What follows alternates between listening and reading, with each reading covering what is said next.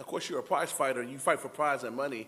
What, what, but at least my question: What do you think when you see somebody that's not a trained fighter getting 1.3 pay-per-view buys and making this making more money than you? That's not trained like Man, thank you for bringing that up. Uh, it's here's what I really think.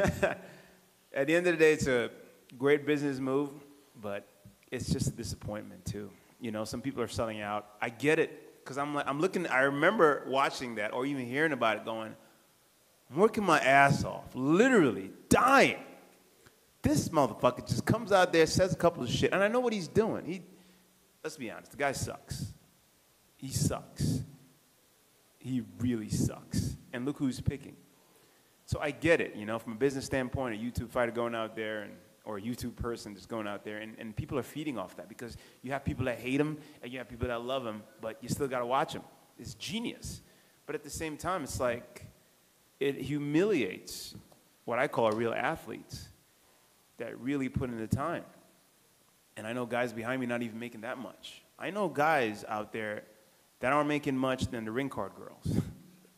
So if he come knocking on your door, you and Coach Safe door, want, want you to be his next Ben Askren, what do you tell him?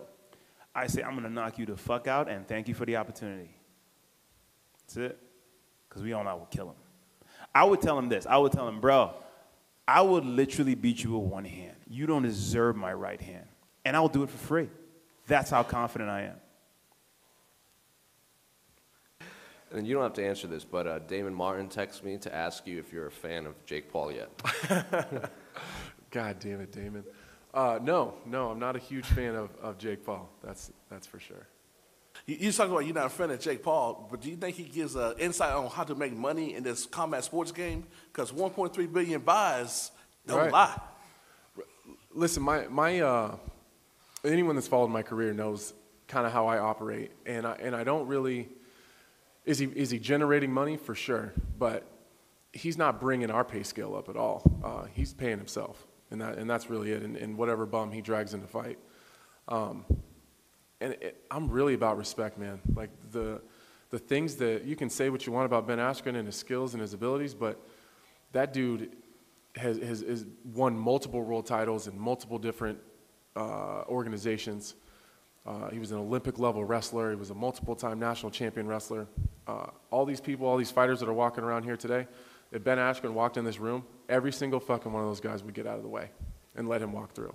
So, like, the way that Jake Paul talked to him, I had really, really big problems with when he was saying that Ben didn't, you know, wasn't able to talk about fighting. Like, that's the kind of stuff I'm talking about. It, as far as the, the business in the game um, and, and the way that he's generating interest and, and like the financial part of it and the marketing part of it, Jake Paul's doing a phenomenal job. Uh, I, and I don't expect him to, to fight world champion boxers or, or, or even, you know, UFC, like, you know, top five or top 10 ranked guys who can strike. I don't expect him to be able to do that um, because he just hasn't been in the game long enough. And, that, and that's not his fault. I, I think he's approaching it the right way. I think, I think he takes it very serious. I think he trains really hard. I think that he, he really puts the work in. Um, it's the same reason I stuck up for CM Punk the whole time. I, I always think everyone has, has the right to, I think everyone has the right to get punched in the face for money if that's what they want to do. Um, I just, I, I don't like the disrespect uh, of guys in the game that, that deserve to be respected.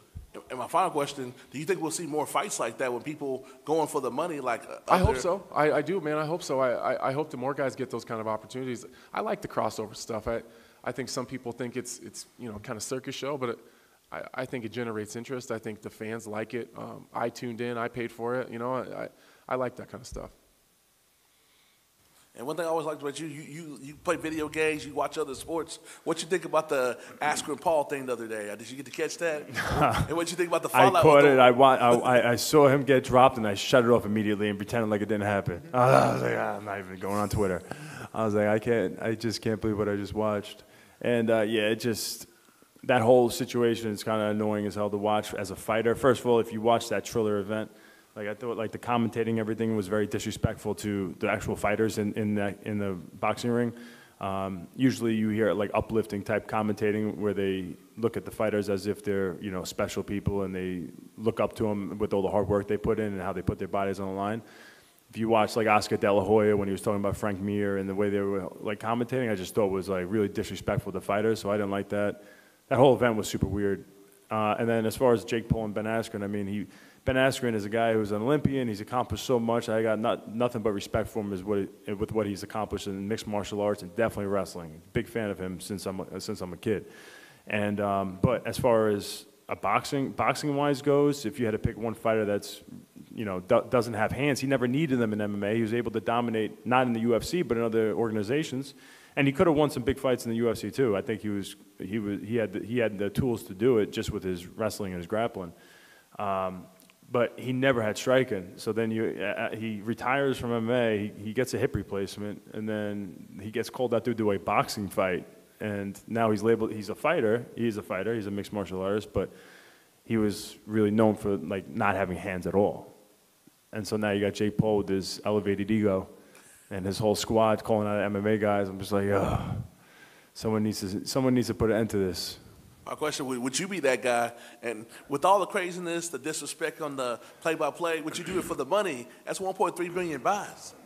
Listen, of course, I would love to smash his face, and he would have no chance of beating me. But I, I also like it's it's crazy. Um, you know, you probably make good money doing that, but I want to fight the best guys in the world. Like, and Cormier said it good too because he he was calling out Cormier, and he's like, "Yo, why? Like, who is this guy? I don't care how much money I'm going to get paid. Like, why does this guy deserve to fight me? What has he done to fight me? And you don't want to be like an egomaniac, but really, like the guy hasn't earned anything, you know. So, the other uh, on the other side of the token, I don't want to give him that opportunity.